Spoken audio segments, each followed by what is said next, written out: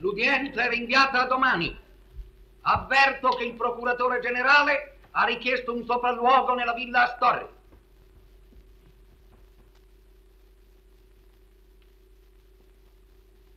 Fango, fango. Ma perché hai fatto questo? Avevi bisogno di denari, di gioielli, di affetto. Ma no, Carlo, no. E allora a che hai ceduto? Al ricatto. Fu per salvare mio fratello. Tuo fratello. Egli aveva usato del nome di Calandri su una cambiale. Una firma falsa. Ecco. Il Calandri mi mandò a chiamare. Io mi recai da lui nel suo villino.